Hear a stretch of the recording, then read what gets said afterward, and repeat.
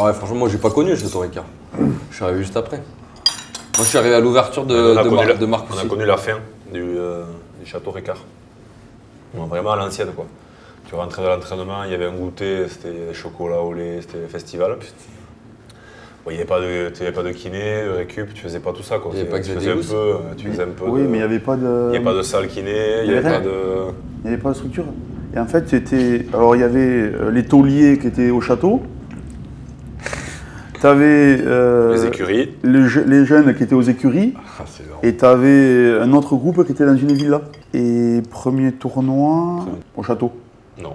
Alors voilà, quand tu veux qu'on était au On était château. ensemble dans la villa là. Non, non, on était au château parce que un jour. Tu te rappelles Bernard, vous avez pris sous l'aile déjà. Il y a un jour, j'ai entendu taper, j'ai entendu dire hein, il faut que je voie Manol. Putain, moi je suis parti. Oui, oui. Parce que tu avais fait une interview, tu avais dit euh, si demain le rugby ça s'arrête, c'est pas grave, tu avais dit. Et il t'avait foutu une secousse en disant si t'es pas motivé, tu dégages. Non, non, on était au château. je me rappelle très bien. T'avais été inspiré là. C'est une longue histoire d'amour avec Bernard. Il avait voulu me- J'avais j'avais failli quitter la Coupe du Monde en 2003 aussi, tu sais. Ouais, ça c'est une petite histoire sympa. On part, on fait le- la rencontre avec les équipes, il y a le Fidji, euh, soirée de préparation avant Coupe du Monde, là, tu sais. Et ce con de Lionel Rossignol, attaché de presse de l'équipe de France, il me dit Tu parles anglais un peu, Emmanuel Je dis Bah ouais, un petit peu. Il me dit Bah viens, euh, on fait une interview pour une, une- télé locale australienne. Donc, euh, c'était à la fin de la soirée. Et donc je pars avec lui, je fais l'interview en anglais. Et on revient pour prendre le bus. Et j'étais avec donc Lionel Rossignol et je vois le bus de l'équipe de France qui part comme ça 50 mètres devant moi. Regarde Lionel, j'ai dit. Il me dit. Je sais pas, tu vois. Je dis, bon, ok, alors moi en panique, tu vois, 23 ans, première Coupe du Monde, j'ai dit, ouais, enculé. Et puis Bernard, tu le connais, il était un peu, un peu sanguin, quoi. On arrive à. Donc on prend un taxi, on arrive à l'hôtel, et là je vois Bernard dans le hall, comme ça, il faisait 50 allers-retour en marchant, comme ça, les mains dans le dos, tu vois. Et là, il m'a défoncé. Et, mais j'étais pour rien, moi, Mais tu oui. vois. J'avais, je te dis, j'avais répondu à la demande de la Lionel n'est pas, volé, a pas volé à ton secours. Ah non, Lionel, il s'est échappé. Lionel. Lionel, quand je me suis retourné, il était plus là, tu vois. Et là, il- et là, il m'a défoncé, Bernard. Il m'a dit si t'as pas envie d'être, de rester avec nous, de vivre avec nous, de trucs, de machin, as- t'as qu'à rentrer en France. D'ailleurs, c'est pas toi qui joues samedi, c'est Nash qui va jouer. Christian Labitte, moi je devais jouer, il a annoncé l'équipe. Il me défonce en 2-2, tu vois. Et là, moi, à 23 ans, ça m'est monté. Je suis monté dans la chambre, j'ai commencé à faire ma valise. J'ai dit, ah, ben, c'est comme ça. Je dis, moi, je me casse, tu vois. Un peu de caractère, tu vois. Mais j'ai rien compris. Là, Jomoiseau qui arrive derrière, il me dit Non, mais calme-toi, Emmanuel, il est en train de m'enlever les affaires de la valise. Il me dit Calme-toi. T'en souviens de ça? Mais C'était des débuts euh, sympas. C'était un peu électrique, tu vois. Et donc, euh, Jo, il arrive à rattraper le truc, tu vois. Il va voir Bernard. Bernard, il dit Ah, il jouera pas samedi, tout ça. Bon, ça dure, ça dure une heure ou deux, machin truc. Et bon, Jo revient dans la chambre, il me dit Non, c'est bon, c'est toi qui joues samedi. Il y a eu euh, mes, mes Mais ententes, surtout, un c'était pour malentendu, rien. tout ça. Mais attends, c'est parti comme ça. Bon, tu connais Bernard, tu vois. Ouais, compliqué, Bernard. Donc voilà, ça c'était les débuts euh, en équipe de France, c'était un peu, un peu électrique. Mais après pour revenir, euh, ouais, le Château Ricard c'était fantastique. Quoi. Tu croisais tous les anciens au bar là, qui, qui se mettaient forcément un peu, d'apéro. C'était vraiment, on allait s'entraîner, écoute-moi, on prenait un bus, on allait s'entraîner à, à, là qu'il faut. 5 minutes du, euh, du château, Château. sur un terrain au bord de la route comme ça. Le terrain, franchement, il devait faire aller 50 mètres de long, même pas, je crois, et, et 30 mètres de large, quoi, à tout casser. Pas de ligne, euh, pas de poteau de rugby, et on s'entraînait là quand même toute la C'était semaine. un terrain de foot. T'imagines Ah qu'en ouais. 2002, on fait grand chelem avec ça, quoi. Ah, c'est- Ah bon, c'était. Il y avait, euh, les buteurs, ils allaient buter, je sais pas où. Ils butaient sur les poteaux de, de foot. Non mais, non, mais là, tu te rends compte, là, euh, maintenant, ça fait 15 jours sans Marcoussis. Là, les mecs de. euh, Comme des en soirée en cage. équipe de France T'en as eu Donc c'est un rôti. Plus belle soirée en équipe de France. Merci. 2013. Je vous en prie, monsieur. Tournoi 2007, pour moi. Quand justement on est resté 6 semaines à. Merci. Tu te rappelles pas qu'on est resté 6 semaines à, à Marcoussis Oui, s'il vous plaît. Et Oui, que, oui, euh, moi sortait j'étais le- après. les cobayes. Moi. Ben ouais. À 6h du matin. Ouais, mais du coup. Qu'est-ce qu'on euh, avait fait mais, Ah, euh, on, avait ouais. fait, on a gagné le tournoi, mais surtout on a fait grand chelem des, des, on sor- sortait des sorties avant et, match et le- après match. et les, euh, et les week-ends où on jouait pas, on avait On le, le jeudi, le on avait le droit de midi. sortir et on allait faire le footing avec Bernard dans la ah, forêt oui. des arrières. ah oui, ah oui, ça là était pas mal. Bah, Merci. enfin, moi j'ai vraiment rigolé Je sur ce tournoi. Ah ben là c'était. Plus, bon, c'était pas, c'était pas la même. euh, il- À la vôtre, messieurs. il y avait- Merci. Merci. il y avait quand même. euh, tout le monde n'a pas vécu le même Ouais, tour, parce hein. qu'il y avait. euh, T'as les mecs qui se levaient à 6h là pour Ouais, faire les c'était- Mais moi, entraînements de. moi, Et après, il y a les mecs qui jouaient, tu vois. Donc, euh, Bon, on en a fait quelques-unes aussi à Paris. On était jeunes, on ne savait pas trop.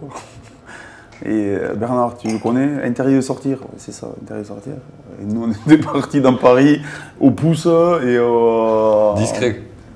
À la boîte au VIP, on savait pas. La mais on se lève, nickel, tu vois, facile. Il passe à côté, c'était bien hier soir au VIP. Oh, comment il sait ça, lui? En fait, il avait ses antennes partout. Bah, attends, pouce et VIP. Ah, c'était... là, ouais, ce qui était bien à l'époque, c'est que voilà, il Ouais, fallait pas après. sortir, mais il Ça fallait allait. assumer quoi. Voilà. Ouais. Si, si tu t'y filais le week-end et que et que tu étais dans, dans- dans les clous, euh, il te disait rien, Bernard. Par contre, tu savais que tu n'avais pas le droit à l'erreur. Ah, il fallait pas se rater. Tu savais que si tu étais sorti, le week-end Bon, d'après, il fallait, Oui, fallait pas trop se manquer. Quoi. peux plus, enfin, c'est compliqué. Mais c'était le- il fallait entretenir cette culture rugby, quand même, la troisième Ouais, c'est mi-temps. vrai. Non, mais c'est vrai. Et aujourd'hui, tu le vois, enfin, je sais pas comment c'est à Toulon, mais ça se perd un peu quand Ça même. se perd un peu, ouais. Parce qu'il y a moins de groupes, les mecs ils sont un peu moins proches, donc euh, nous, euh, les débuts, mais, euh, tous les matchs Ouais, on sortait. tous- Tous les matchs. Hein tu sortais tous les Au week-ends. moins, on allait bouffer ensemble. Ouais, et ouais. bon, après- Bah, Bah, il faut avoir magique. une, une vie à côté quoi, de groupe. Quoi. Tu peux pas faire que du sport. Du Il n'y a, sport y a que ça qui fait que ça marche. À un moment donné, si tu veux de la cohésion, euh, t- t'apprends plus d'un mec en buvant un verre ou deux verres qu'en t'entraînant six mois avec lui. Quoi. Et puis tu pars sur une, une histoire commune, quoi, un vécu, la connerie que t'as fait la veille. euh, Derrière, ça t'alimente. c'est- Mais ouais, non, mais c'est Non, mais c'est Ouais, vrai. mais souvent tu te rappelles des soirées plus que les matchs. Plus que les matchs. ouais. c'est ça, c'est C'est ce qui vrai. reste après. En 2011, ça, Ouais. pendant trois mois, on a interdit de sortie de tout, de machin, on était minable. Ouais. On, on joue, euh, on fait une, on fait une soirée. C'était pas une soirée. Bon, on fait une C'était- journée, C'était on un brunch. journée. C'était un brunch. on se remet un peu dans- sur les rails, tu vois. C'est vrai. On joue, on joue l'Angleterre en quart de finale. On les bat le soir. Le soir, on n'a pas fait semblant quand même. Ouais, c'est vrai. Pourtant, on a C'est gagné. peut-être les soirées qui nous ont fait le plus Pourtant, ça. quart de finale de Coupe du Monde et on joue la demi-finale la semaine d'après. Et on gagne la demi, et après la demi, interdiction de sortir. Tu vois, on n'est pas sorti. On a fait une petite truc dans une salle. euh, Et finalement, c'est c'est peut-être là qu'on a perdu la Coupe du Monde. Si on avait fait une grosse soirée, Ah, mais le- pourquoi après on la demi-finale, peut-être qu'on aurait été champion du monde. Tu vois. On avait besoin de dire les trucs. euh, Mais non, mais cette les journée chevaux. on l'a faite parce qu'on a perdu contre les Tonga. Ouais. On Ah ne perd oui, pas on contre le les Tonga, on l'a fait pas et peut-être que euh, le quart de finale on rentre à la maison. Donc pour ça il faut faire des soirées. Quand on rentrait du, du pouce au crime ou du, quand on avait 22 balais, ben, on en a profité, tu vois. Ouais. Et quand tu rentres à 6h ou 7h du matin, moi je me souviens, le smoking, tu vois, on avait tenu quand même le gars là, la, la veste sur la tête comme ça pour entrer dans l'hôtel pour que personne ne te reconnaisse, parce que tu croisais euh, le président Ouais, tu de la Fédé ou le dirigeant qui prenait l'avion de bonheur. Mais Ça restait des super souvenirs quoi. C'était cool, Marc aussi. Moi, j'aimais bien. Moi, j'adorais y aller.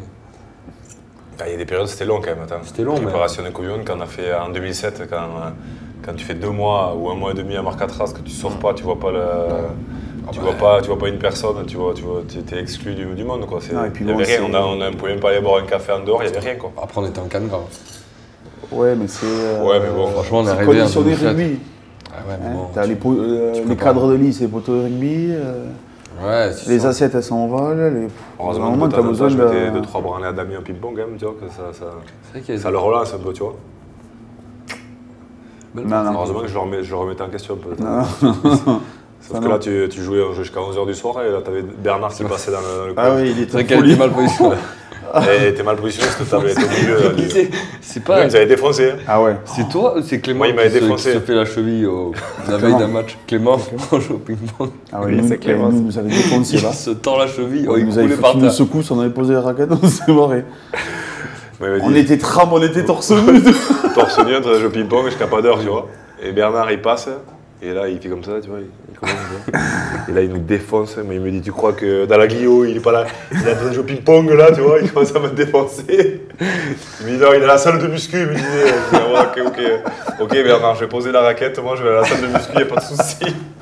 Et là, et là, sur tout, ton parcours, là, si tu avais, je sais pas, 5 minutes à rejouer d'un match ou d'un moment, que tu changerais ou que tu. Alors moi, j'ai peut-être une idée.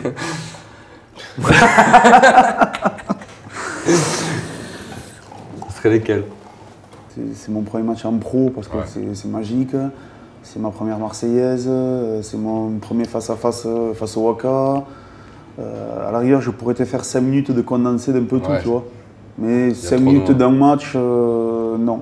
non. Fait personnellement, non. Je préfère, euh, je préfère faire un peu le, le 30 tour. Ouais, voilà. Faire un montage de tout ça. T'as un moment que tu aimerais J'aimerais revivre. Ou pas, enfin, ou changer Ben, revivre, il y en a plein, euh, notamment les matchs euh, que, que- que tu gagnes, les, les- les finales de Grand Chelem, les finales de championnat. que- surtout les, les- préparations, tu vois. Moi, je me souviens de la préparation de la- ma première finale de- en 2005. euh, on, était, euh, on était au château de Chantilly. Et euh, on a passé une semaine, mais c'était c'était fantastique. Tu vois. On était vraiment tous ensemble, il y avait de la cohésion.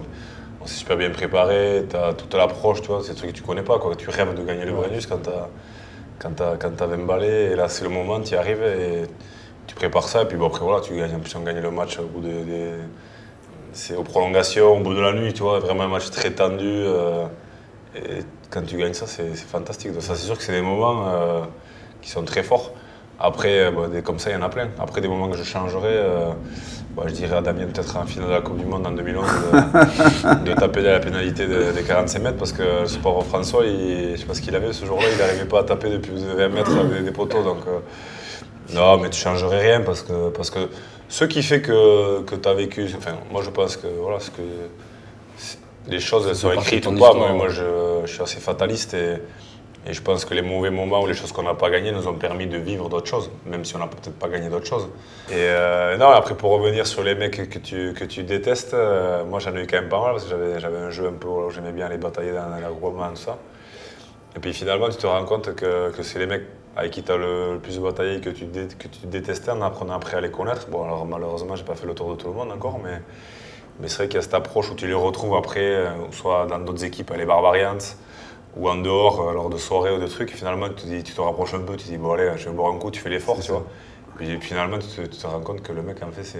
Voilà, chacun défend son beefsteak, tu vois. Chacun, Bien sûr. Puis parce que tu as le même tempérament. je parlais de David Cousinet parce que moi à l'époque je, je, je le détestais. Quoi. Moi je jouais avec Pou, il me marchait sur la tronche. euh, euh, moi je suis arrivé à Biarritz, donc et lui il avait signé à Biarritz. Et je n'osais même pas lui dire bonjour. Quoi. Il- et finalement c'est voilà, devenu un ami et on s'adore, mais je ne pouvais pas le, le voir en peinture. hein. C'est- J'ai un problème à la seconde ligne peut-être. Pato le Basseté, c'est pareil. Pato Ouais. On le jouait en club, on le jouait en équipe avec les Argentins, mais je ne le Ben supportais pas. J'avais envie de, lui arracher la tête. Quoi. Tous les matchs, on s'accrochait, petite bagarre, truc machin. Ouais. On s'insultait, on se traitait de trous, de tout. Enfin, quand on se croisait, on se disait pas bonjour. Je me souviendrai toujours le premier jour où j'arrivais à Toulouse dans la vestiaire, mais on s'est à peine dit bonjour. Quoi. Et finalement, euh, voilà, on est devenus hyper proches. Mais Ben, c'est la différence Ça, entre c'est- le terrain, la ça, c'est- compétition. Ouais, la, la et différence ce que année avec. Chris Ashton. Ah oui, bah oui, toi aussi, Ah, t'as eu des. euh, Eh ouais, tu parce qu'il y a des mecs obligé- sur t'es le- obligé de détester. Mais- je veux dire, euh, Mais il fait c'est- le H c'est plage, normal, c'est normal. En plus, il m'a pété l'épaule sur un Mais match. c'est une tout, source de motivation euh, aussi. Et mais là, parce qu'en fait, on est pareil. Mais parce que, voilà. Parce que t'es pareil, en fait. Ouais, mais aussi quand tu joues contre ces mecs, c'est une source de motivation. Ouais, Tu- t'es obligé, donc- obligé de te, te Donc forcer un t'as peu à envie de, de leur passer dessus et forcément ça c'est une source de motivation aussi. Ouais. Oh, magnifique Mon père en dextérité, quoi. Après, Heureusement que j'ai arrêté de jouer. Heureusement que je joue pas ce soir. Parce que c'était quand même ta qualité, quoi. Putain, magnifique. honnêtement. Tu vois, je, dé- je dé- je déteste toujours faire des en avant, même maintenant, tu vois. Surtout sur ton pantalon pour ce soir. Tu vas faire quoi, toi, après? Comme sport? Je sais pas. Muscu, non? Non, peut-être pas. Un crossfit, ça a l'air cool un peu parce que tu, tu peux te dépenser. il va faire comme Jérôme Thion, il va faire un Ironman. Ah, je sais T'as pas vu si... Jérôme ce qu'il a fait Ah, c'est c'est monstrueux. Il a fait moins de 13 heures. Ah, là, quand, quand on le suivait sur le groupe, là, que, euh, qu'ils annonçaient les temps, mais attends, le finir par le marathon, là, franchement, avec son gabarit en plus, parce que. je veux dire, il fait, il fait encore combien, quoi? Quasi 110 109 là, apparemment, pour le. Ouais, voilà, 110 kilos. Imagine qu'il Ironman. a fait la natation en 1h07, 3 km 8. Non, mais c'est. Ouais, ça, c'est. Ça, c'est un sacré défi, quand même. On ne savait pas lancer celui-là. Quand tu vois comment il est maintenant par rapport à quand, quand il jouait, et je te dire qu'il nous a bien baisé pendant longtemps. pendant quelques années quand même. Parce que là, il s'est filé plus que quand il jouait à nous, je te le dis. Il y a Thierry du Sautoir qui m'a proposé, euh, qui veut faire un relais, euh, un 4 fois, un 4 fois 100 ou un 4 fois 60, tu vois, avec Zeba Traoré, tu vois, qui veut nous former parce que euh, il y a Zeba Traoré, euh, préparateur Un 4 de- fois quoi qui nous a, qui a dit, qui a eu malheur de dire un jour que franchement, euh, Thierry, il avait des grosses qualités de, de sprint euh, Ah, mais si tu parles du sprint en indoor, mais en indoor, tu vois. Ah ouais, bah Et là, donc, on, euh, on du coup, on n'est euh, pas prêt de gagner quelque On va, chose. se- on va, on va, on va faire- former un petit relais avec Thierry du Sautoir. Bon, on gagnera peut-être pas grand chose, mais. Il lui fait croire, il arrive à lui faire croire qu'il court vite, c'est ça? Hmm. Ah, parce que c'est parti d'une Ah, action. Zeba, Zeba, il est très fort. C'est parti d'une action où il a déposé le 9 de Gloucester. il lui a tué la carrière. Parce qu'il en a. Titi Ouais, Ah, je la a- vois, parce qu'il n'a pas déposé beaucoup de mecs. Titi. Et oui, Et de il là- le rattraper. Et, et de là, et de là, si tu veux, il a pris la conf- confiance en ses cannes et Zeba a remis une couche dessus. On est franchement Mais alors, sur c'est quoi 60 mètres l'objectif, une là dame. C'est quoi ce relais là Je sais pas, je sais pas. On en avait, on l'avait évoqué comme ça. Je me demande si je vais pas relancer Titi pour ça. Un petit, un petit relais de, de vétérans là. Mais vous faites une équipe à Toulouse et nous on fait une équipe à Biarritz. Au relais 4x60 avec Titi. On peut faire 4 fois 20 mètres là.